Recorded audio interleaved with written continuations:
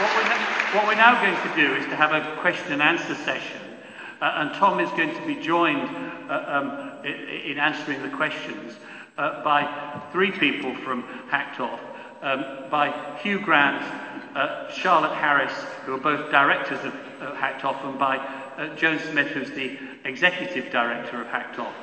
So, so if anybody would uh, uh, put their hand up to ask questions uh, to, uh, uh, to um, any or, or, all the members of the panels, panel, I think we'll probably, probably the easiest thing is to take them in batches of three, just so that, um, and then the panel can respond. So uh, the, the first one, I've got a gentleman here in, in the middle.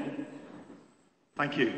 And uh, Tom, fantastic speech, so thank you very much. Um, my name's Ian Puddick. I wanted to ask the panel, where do the Met Police fit into all of this? Because they swear an oath to uphold the law and they clearly chose not to. Journalists don't swear an oath to uphold the law, the police do. So where are the police in, in all of this and when are they going to be held to account? Thank you, thank you very much. We'll take a question from the Thank you. Um, my question actually follows on rather neatly from that one. Um, related to something that Tom Watson's, I think, started discussing in the newspapers recently, um, the case of the suspected paedophile ring at Westminster.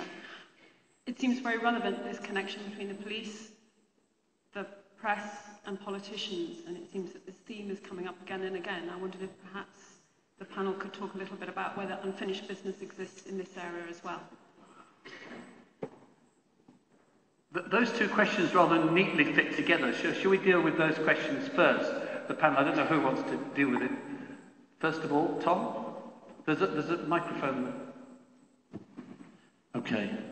Listen, will you not ask all the questions to me because you've got three brilliant other panelists, so think about your questions. Um, look, on, on the Met Police, what do we know about Met Police? But part of, I mean, Ian, I just said I think Leveson 2 is the correct way to look at the relationship between the police and, and the press.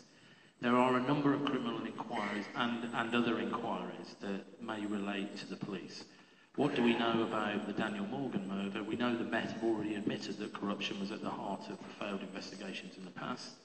Theresa May has bravely, in my view, created a, an inquiry. It's had some teething troubles, to say the least, that will try and examine how we ended up with five failed criminal inquiries. And you know, let me just, uh, you know, let me be a Labour MP for a minute. I, when, when Theresa May was um, became Home Secretary in 2010, I didn't have much hope for her. I thought this is a classic Conservative and flogger, rhetor- rhetorical sort of uh, speech-making uh, Home Secretary, and I think she's been the opposite. Uh, and that's because in her, on her watch, she's had Hillsborough, hacking, Plebgate, Daniel Morgan, a whole series of uh, scandals that afflicts mainly afflict mainly the Met Police, and I think she's determined to sort of find out what's going on, and we should support her in that as long as she's in office, which, uh, from my point of view, will only be for about five months. there may be others who have a different view, and that's the same with the criminal inquiries and the national inquiry into organised child abuse. I won't dwell on it in this audience. Except one thing, there was one significant fact that was uh, that came out from a very brilliant journalist, Liz MacKean, when she revealed that Special Branch suppressed a criminal inquiry into the conduct of Cyril Smith. That state, a, a state agency, for some reason, closing down a legitimate criminal inquiry. We need to understand how that happened. We don't know the conditions around it yet, but I'm sure we will do when this inquiry is finally running. And I suspect we'll find more cases like that. I have a strong suspicion of that, but we don't know all the facts yet, and it's not in the public domain, but we need to let this inquiry get moving on it. Uh, Joe, uh, as well as responding to the question, it may be uh, um, you'd like to say something in response to Tom's speech as, well. The... Um, on, the on Leveson Part Two, I think that um, Tom's talked very well this evening about the ways in which Leveson Part One has been misrepresented as an attack on journalism and so on. And a lot of tabloid journalists will say, well, look at the police, they got off scot-free in Leveson 1. And that's one of the reasons I think it's important to have Leveson Part 2, because it was quite proper that that first inquiry shouldn't go into affairs and, and matters which could have prejudiced criminal trials. That was quite right. But I don't see the papers who are saying that the police got off got scot-free. I don't see them saying that's why we have to have Leveson Part 2. We've got to get to the bottom of this. So it's very, very important that the public and MPs take up that call and say there has to be Leveson Part 2. And on Tom's speech, I'd just like to say it's fantastic to hear a politician get up and say all the things that we in this room believe really passionately about both the freedom of the press and the way in which it's abused, some of it has abused those, those freedoms. And I think it takes a lot of courage for an MP to stand up and say that because the press is still very pow powerful. So thank you, Tom. And um, yes, congratulations, Tom. We couldn't have done it um, without you. Tom goes back such a long way um, with this from the very start when um, making inquiries to the police as a lawyer came back with um, literally nothing, that there had been no hacking, there was nothing, there was evidence, but that evidence didn't necessarily mean anything, and would we stop writing to them? And actually, it was Tom um, and his encouragement at the very, very early stages that really helped get this going, because there's nothing more encouraging to um, a person who continually has um, no as an answer, and I'm speaking of the victims here, to get um, really um, heavy backing, and I think that person but um, just, in, just in terms of the police, um, and um, drawing on what um, Tom said in his speech, um, and something that we can all do. Um, Tom talked about the change in attitude that the papers have shown when it comes to how journalists have been treated by the police and the early morning calls, and compared that Chris Jefferies. Now, I don't think anybody here would like the police to be um, acting inappropriately with anybody. It's about hypocrisy here. But one of the things that's extremely important, I think, for um, us to think about going forward is making sure that these false claims that um, are, are, being made in terms of um, um, inappropriate police um, behaviour is, is looked at properly. So, for instance, the police have to behave themselves. They also have to investigate, but when you find um, journalists writing um, vitriolic um, pieces, say, or it's completely wrong to um, um, to investigate this, these people have um, got have done nothing except investigate legitimately. there has to be there has to be a reply because I, I think what's happening is every time there is somebody arrested and somebody um, and somebody um, gets acquitted, what happens is that there is um, um, a celebration that doesn't look at doesn't look at what's happened in an objective way. And that's why Leveson 2 is important, not so that the police can be historically criticised or that there can be any, um, um, any sort of dancing about um, acquittals, but so that we can get to a stage where the police act appropriately in all situations and we can feel that there is some public trust again and not just spin. There's been far too much spin for and against, and we all have to be careful of that ourselves and at the same time really encourage Leveson to, to look into it properly.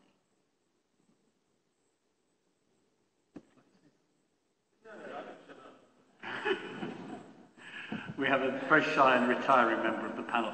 Uh, uh, I've been reminded I failed to introduce myself. I'm Hugh Tomlinson. I'm the chair of Hacked Off, and I'm um, very shy and retiring. Uh, um, so, do we have some more questions? I think there was some, someone over there was first. Sorry. Hi, um, my name's Emma Burnell. I'm the contributing editor of LabourList. Um, we're a blog site. Um, my question is, I, I used to want to be an MP, and I can't now imagine anything worse in the world. Um, and part of the reason is the culture that has developed through the press and through the politicians. And I think that what you're doing is really interesting and important in terms of the structures. But what can we all do as public figures, as bloggers, to actually change the culture that exists? My name is Chris Clark. I'm uh, just a member of the public. And the question I have for the panel is just to ask, um, is anybody aware of how many cases have gone to IPSO so far in the months they've been in existence? And have any been adjudicated on, and what's the, what's the shape of the adjudications? One more? Hello. Um, I'm a hospital campaigner, and I went to see Ed Miliband um, speech in London about a month ago, and the press were quite rude. And I went up afterwards and I tore them off a bit of a strip because I'm a very worried, concerned human of this United Kingdom, only for an MP to tell me about a week later, oh, did you see yourself on YouTube? Um, the BBC had panned right in on me, recorded everything and posted it, and I've got about three and a half thousand hits. Fantastic, but you know, being the sort of person I am and I suffer a bit of anxiety, it was quite intimidating because I had no idea that they could pan from the back of the room and record absolutely everything I said, which luckily was polite. Um, but what I would like to ask is, do you not think the one way, number one, is to put the owners on the stand? They are ultimately in charge of their businesses.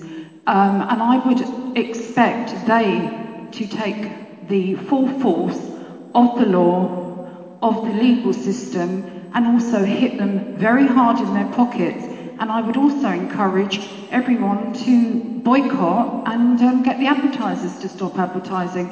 I think they'd get the message pretty quick.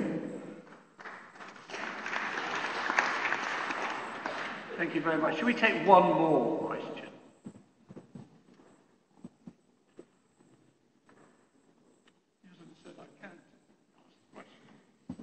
I'm sorry? Okay. Um, my name is Francis Durham. I, I'd like to say I'm rather despondent that there will be any real change with the press. And I think the problem uh, is really it's the, the public who buy these newspapers. And there is a real issue there. I don't go into, say, a supermarket and see, well, I go into a supermarket and I see the, the Daily Mail and the Sun, you know, just rolling off the uh, off the stands. That's the real problem, and politicians just cannot say it's the public that's at fault. And, and whilst uh, the likes of Murdoch have these people in their grip, I doubt really there can be major change. We all here can, you know, think we're doing right, but uh, you know, when you come to really making real change, I think you've got a real problem. And it's the public that is really the problem. Thank you very much. Before I turn to the panel, can I just answer the question of fact about IPSO? It has, it has made no adjudications of any kind uh, uh, um, since it, uh, no resolution, so it's actually done nothing since the 9th of September. Uh, um, now, the panel, uh, to, to the, the other question, thank you. Well, I was, I was going to add something on the IPSO point, which is that they have the most, most useless website I've ever seen. Um, it's actually very hard to find, and it's very, very uninformative. And if you look at the old PCC website, what's happening is that IPSO is um, responding to the, what they call uh, legacy complaints, I think, from complaints that went to, to the PCC but weren't resolved when it was round up, wound up. They are kind of adjudicating those but it's appearing on the defunct PCC website. So it's actually quite hard to work out what on earth is going on. So it's, it's worth looking at both those sites. Um, I think there is a culture of bullying, um, and it worries me a huge amount. And I think that the kind of um, monstering of people that goes on the front pages of the tabloids almost every day actually, and it, it catches MPs like everybody else. And I think it's inhuman, and I think it also kind of undermines the democratic process in this country, treating people as if they're not really human beings. And how one deals with it, I think when you talk to journalists who've worked in tabloid newsrooms, and some, of, some journalists who actually now say that they were part of that culture, they will talk in turn about how they felt bullied. And I think we all know that people who are victimized themselves then go on to behave badly to other people.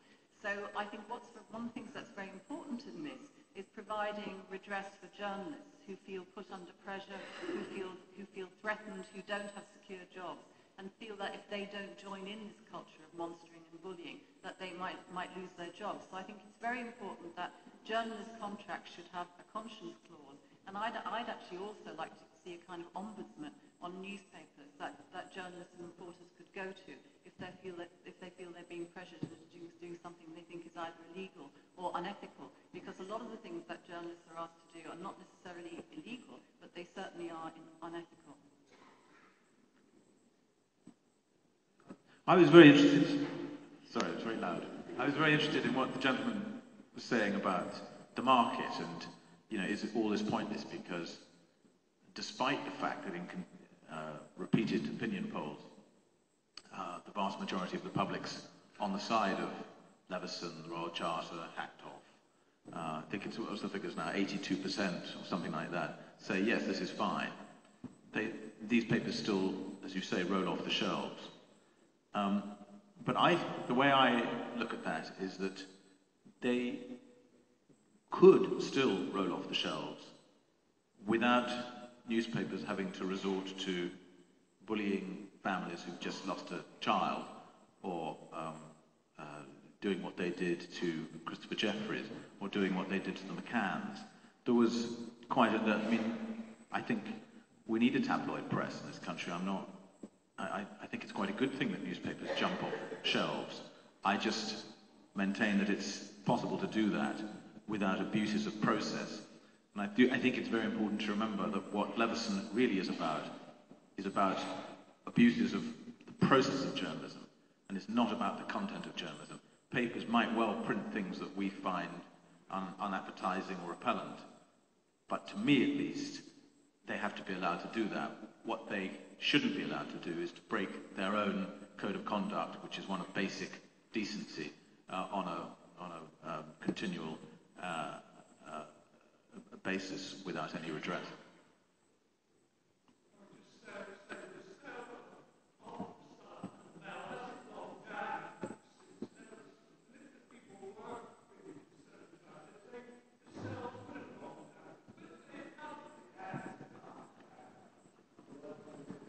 Um,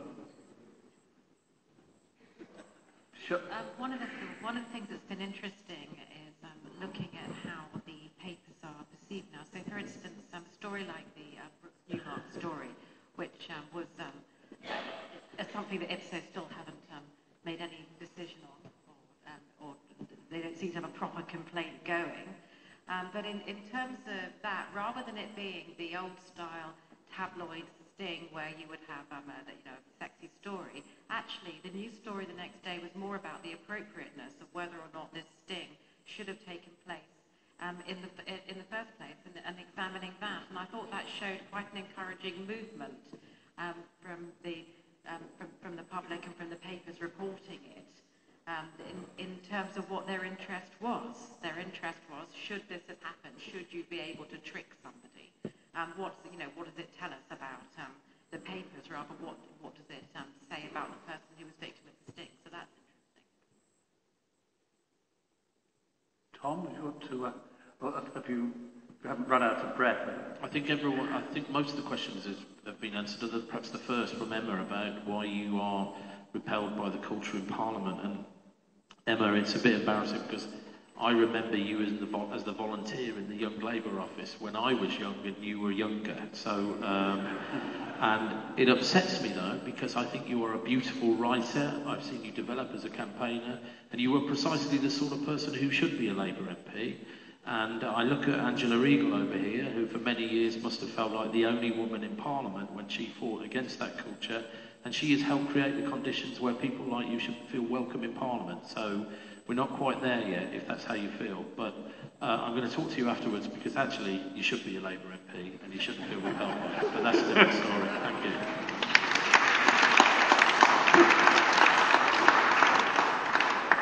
Uh, uh, right, right, we've got, we've got uh, um, three questions in, in, in the central aisle, I think. And the microphone is coming. Ah. Um, Sheila Hollins, um, my family were victims of press intrusion. Um, Tom, I, I, want to thank you for your courage in giving the lecture, uh, because I think actually, and, and, for all the people who um, have, um, you know, work within Hacked Off to try to raise the profile and the knowledge of the terrible things that have been happening in the press. Um, I'm an optimist like you. And I think if I wasn't an optimist, I wouldn't have given evidence to Lord Justice Leveson because I really thought in doing so that it would be because there would be change as a result. Okay? So my question is this. Impress sounds like a very promising organisation. What is it going to take for Impress to be able to be recognised? how many newspapers have to sign up before it can do so? Thank you. There's a question at the back. Sorry, sorry. I think someone's had their hand up for a long time. Um, hi, um, my name's John Sweeney, and I used to work for Panorama, um, but I was effectively made redundant today. Um, as was my colleague Meirion Jones, the producer. Thank you. Um, irritatingly for everybody who thinks the um, BBC is an evil conspiracy, the other producer uh, is sitting um, to my right, and he hasn't been made redundant, or at least not yet. But it was, we were very pleased and proud that the BBC um, finally and eventually put out the panorama on Mazher Mahmood.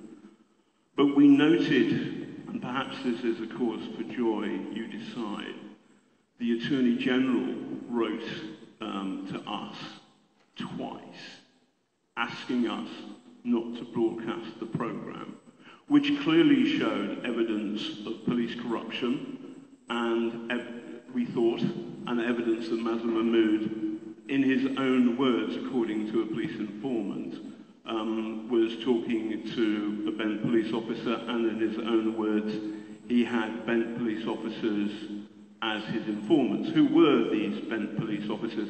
I asked. You ought to know I did this piece of camera outside New Scotland Yard and there were about 20 police officers listening to me as I did the piece of camera. I've got a loud voice and I kept on asking the question. I had to do about 12 takes, but nevertheless I got there. So, the Attorney General tells the BBC, please don't broadcast this programme twice. He said that it was potentially unfair to Mazher Mahmood because although he hasn't been charged and though he hasn't been arrested, so we were legally okay, it would be unfair to Mazher Mahmood if, he, if we went ahead. Now the question is, apparently it turns out that the police have yet to give their official report to the CPS. So is this a service the Attorney General provides to everybody in the country? who's in trouble with the police. This is something which I kind of wondered about as I've, um, um, as I will, and I will continue to wonder about uh, my journey to the job centre in the coming months. But I, I'm interested to know, is this a way forward? Uh, the, the resolution of Ben Jonas and Ben Coppers, the Attorney General will step in in every case? Or was this a favour for an employee of the Rupert Murdoch organisation? Thank you very much. Very thought-provoking question. One, one more. Uh, uh, um, some of it. Thank you, Chairman. My name is Nigel de Gruchy. I'm a retired teacher trade union official. Can I go back to Tom in particular and raise the issues, is anything really going to happen in the longer term? And I think in this connection, is it worthwhile just mentioning Ed Miliband for the stand he made as this business was taking off? And when we consider the other leaders of political parties, those, either those present or those who may be present, has he that confidence in David Cameron that he will really pursue the matter? Or if Cameron loses, and heaven forbid Boris Johnson becomes leader of the Conservative Party, and may I therefore remind this meeting, Chairman, of what Boris Johnson said when all this business was taking off. I can't remember his exact words, but it was something to the effect that it was a ridiculous concoction of the Labour Party. Thank you very much. Who would like to go first?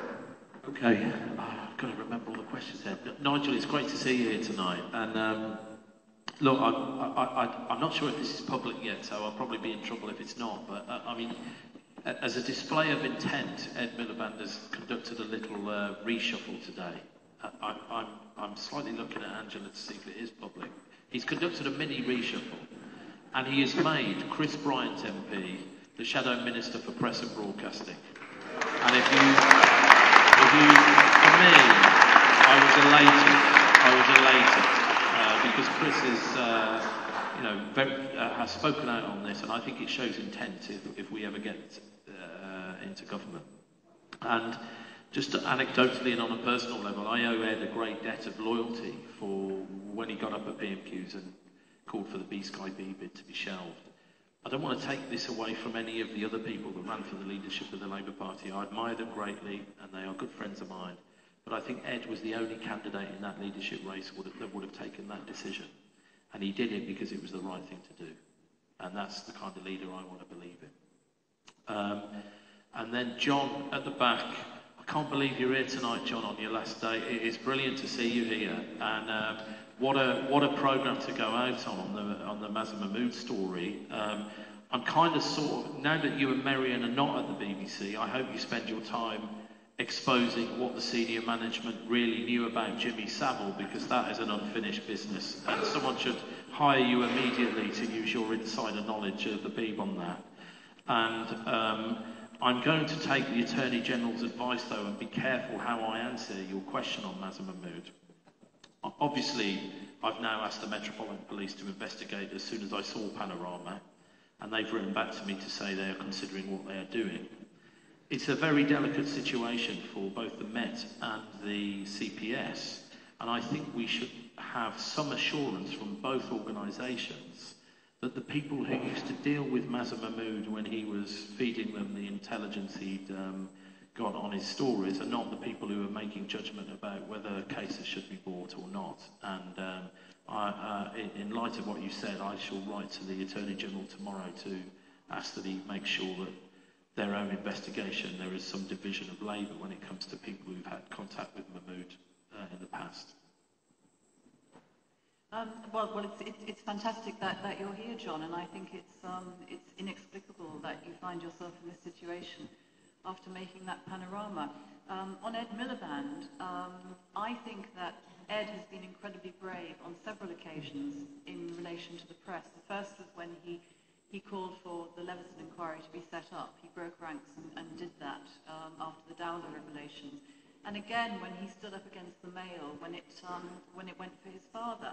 And I think the lesson for that, the lesson for Ed and the Labour Party, and Ed is a very old friend of mine, I'm a great admirer of his, um, is that he, the, he has the public with him when he stands up against these people, because he is standing up for powerless people and people who don't know how to take on these press barons, and his voice is incredibly powerful when he chooses to do that, and I think he has the public behind him. And that's why I think what, what he decides to do going into the election and in, in, in relation to the manifesto is very important.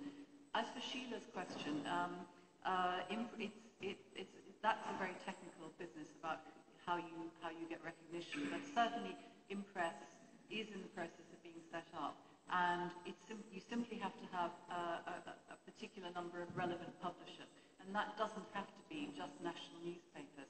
And I know that Impress is actually finding people who, who will sign up. And I think the other thing to say about that is that because Ipso presented itself as the only game in town, um, there was a sense in which people were saying, well, it's a fait accompli, there isn't anything else. There is, Impress is being set up. The other thing that I keep saying is that don't forget that Ipso is being set up by very powerful editors and newspaper groups, and they're very good at writing headlines. And I was on Channel 4 News with, um, with Fraser Nelson from Spectator, and he was sitting there saying, toughest regulation in the world, million pound fines. And I was saying, this is just spin, it's just headlines, because we've looked at how Ipso operates. And there are so many points at which newspapers can appeal against, um, against judgments that we don't think that it will ever get to the point of a newspaper being fined. And a couple of weeks ago, Alan Moses, the chair of Ipso, actually said that himself. He conceded that he had looked at the regulations and he can't see how newspapers are going to get million pound fines. So I think don't listen too much to the, the Ipso spin. And, you know, I think Impress is on its way and, and, and Ipso is certainly not the only game in town. Yeah, just with, quickly with regard to the politicians, I uh, absolutely agree that um, Ed Miliband was incredibly brave and a hero to do what he did on, uh, in July 2011 and snip the umbilical cord with, uh, with Murdoch, the, being the first party leader to do that for God knows how many decades.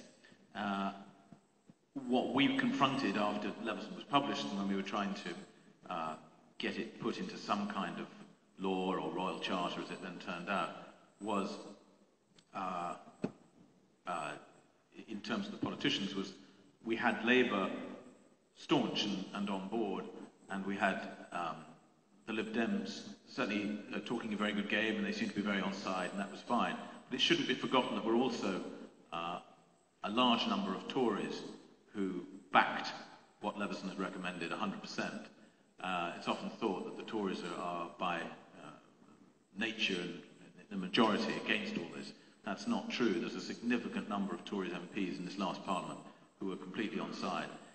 What we now face coming up to the election is to keep those three groups, those Tories, uh, the Lib Dems and, uh, Labour, and I'm sure it won't be hard with Labour, um, uh, on side. When, you know, for politicians, I see this, it's, it's not easy in, the run, in the run-up to an election. You're facing, uh, you know, the electorate who are given their information to a large extent through newspapers. It must be absolutely terrifying to go to war with the newspapers in an environment like that. So this is the time when uh, politicians need their most courage and when organisations like Hacked Off, seems to me, have to be at their most uh, strong and most vocal uh, in insisting that those uh, politicians, including the Prime Minister, live up to the promises that they individually made face to face to people like the Dowler family or to Sheila Hollins or to the McCanns, uh, they've got to they've got to be made to fulfil those promises. Right, I'm going to take two more questions. Uh, I have someone here with a mic at the front. Yes. Okay. Thank you. Uh, I am Andy Miller. I'm the guy who beat the Daily Mail after a six-year fight. Six years.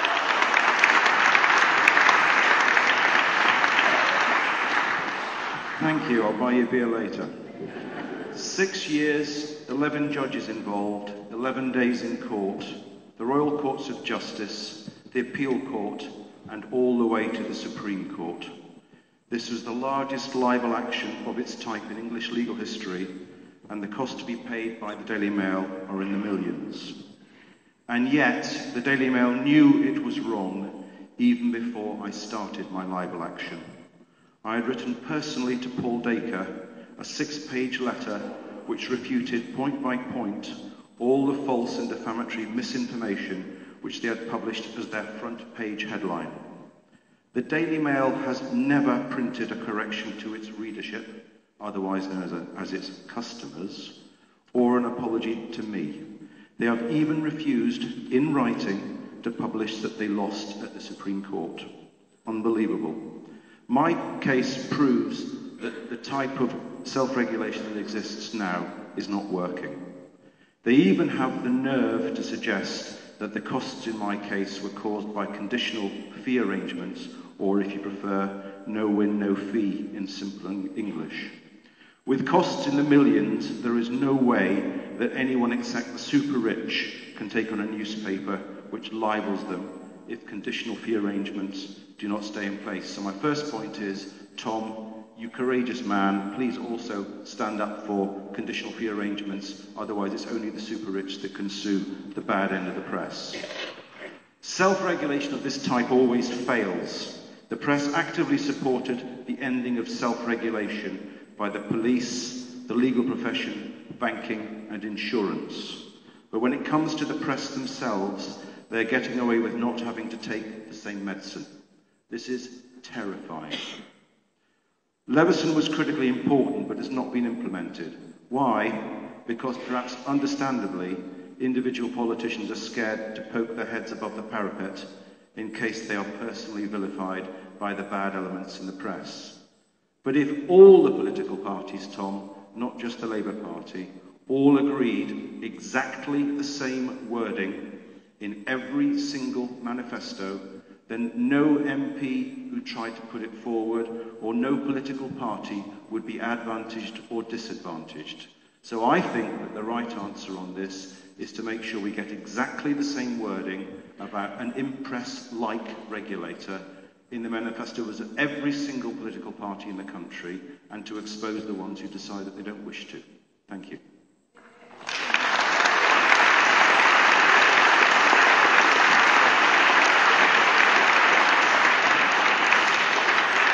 I, I, I, think, I think that had a question mark at the end. Do you agree? We'll, uh... oh, hello. Hi, um, my name is Louise. I'm here on representing Jengba with my friend here, which is an organisation campaigning for the reform of the joint enterprise law. And the reason we're here is because we're concerned about how the media influences um, the yeah the justice system basically, um, and that defendants will be going to court and actually judged and juried by the media, um, and they're meant to be innocent until proven guilty um, by the jury, um, and so. Um, I'm not very good at public speaking. But my question is really because there's hundreds of people going to prison um, for offences, you know, for murder where they haven't actually done anything or intended to do anything. Um, and very many of them are ethnic minorities and all of them are working class. Um, so what my question is, is how will the charter help people, defendants basically, that are going to court um, to get a fair trial. Thank you very much. Um, I'm sorry to the, those who had their hands up, and, but we, we could stay here all night, and we've actually got to come to an end very shortly. But uh, uh, uh so my apologies for not taking any more questions. Uh, um, but I'll just go to the panel briefly for response to those two uh, final contributions. Um, just coming first to the CFA um, um, question. Um, CFAs are incredibly important. Without CFAs, it would be, as you say, absolutely impossible to ever take on the newspapers. And for the last few years, I've been working on so many CFAs. Quite often, um, law firms aren't you know, hugely keen on you doing it the whole time. But the fact is that um, it is the only way currently um, to to be able to defend people um, who aren't uh, who aren't hugely, hugely wealthy, and perhaps there'll be um, some reforms terms of costs. We might get the um, um one-way cost shifting um, um and, so on. But it's very scary the idea that um, CFAs are going to um, stop, and they haven't stopped yet, but they've stopped partially, and so I think that we all do appeal to try and make sure that they, keep going. And in terms of the question about how do we make sure that, I, think the question is, what protections will there be to um, defendants from having their um, cases um, adversely judged in advance by the media and that causing um, that, that causing difficulties and, and, and, and contempt and, um, and, and, and so on. And, and it's really important now that that does get addressed because at the same time as wanting to have um, a clear justice system and fair reporting, or also um, we want to have, be able to um, hear reports as they go along, and there's tweeting inside courtrooms, and so there has to be um, a, a very good look at how cases can be reported without that having an adverse effect um, on the defendants. But we have to make sure that the system is clear, and that's why when um, John Sweeney talks about the Attorney General, and Tom's answer was we have to be very careful that nobody's being um, difficult just simply that these matters are extremely sensitive, and that's why um, we have to be cautious going forward. I just wanted to say that, like Andy, um, I, I used a CFA to go to court against a newspaper.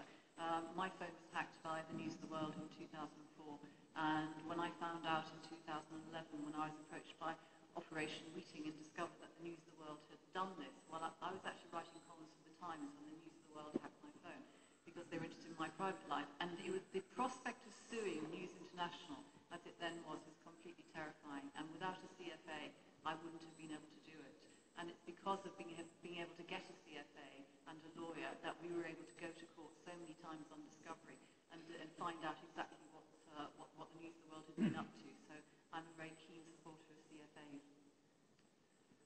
And if I could just take your point uh, straight on, I, I, it would be wonderful if the three parties could share a manifesto pledge, uh, or six parties, or however many, seven, eight, fifteen, whatever. The, the, the main parties in, in Westminster, and um, uh, you, you, know, let, us not let, us not forget that it was a unique a, unique occasion happened where the three main political parties, the three leaders, had a unified position in response to Leveson, which um, doesn't happen very often in politics when they agree that much. It would be great if we could continue that unity. And he was right to point out that there was a majority in the Conservative Party that were in favour of this as well. We, we all have our own internal democracy, uh, and there's a whole complex process about how words end up in a manifesto. I think the Lib Dems have already, are already there. In a, they have a thing called a pre-manifesto with reform words in there. We have a thing called the National Policy Forum and a Clause 5 meeting. I'm hoping we'll be able to do that. And I think if the Lib Dems and Labour can show the lead on it, the Conservatives will be there as well. I hope so anyway. I can't speak for them. But you, you're right to point that out. The, the cross-party consensus has to be what we play for in this because it's, it, you, you know, it's such a unique set of circumstances. If we can do this uh, collectively across all sides of the House of Commons, then it's more likely to happen, I think. Uh, as far as I see it, and I'm a new boy to politics in any way, but it seems to me that a lot of that consensus was about safety in numbers. None of the parties wanted to be the only ones taking on the press, so they, they were the only ones getting bashed. And that is exactly uh, the story of the whole campaign uh, since we started in July 2011, is that at the, at the beginning it was quite hard to get people to, to join vocally, to put their head above the parapet. They might say privately, it's great what you're doing, but they were scared. It didn't matter if they were uh, politicians or if they were uh, people in business, people in show business, uh, they, were, they were scared. But what's happened is that we, are, we have gained over the last three years more and more support, and the more support you get, the easier it becomes, and eventually you have critical mass. And I feel that at this moment, we actually have critical mass, and that those four newspaper owners that I mentioned in Tom's speech are looking like an increasingly uh, isolated uh, little um, diminutive uh, little group. Yeah, so I, I do think a lot of it's about uh, safety in numbers, and I, fi I find that encouraging. As a, as a, as a natural pessimist, I um, feel strangely upbeat about what, what's going to happen. I think on, on that note, we, we managed to extract a grain of optimism from uh, uh, uh Mr. Grant. I think that's a very good place to, to, to finish, and, and, and particularly on Tom's, Tom's point about the, uh, the extraordinary political unity we saw in response to Leveson and hoping, uh, uh as, as Andy Miller said, that we can take that forward uh, uh, over the next few months into the election. Thank you to the panel. Thank you, um, everybody, for coming. And Evan is going to now say a few words in conclusion. Panel are excused. So. Um,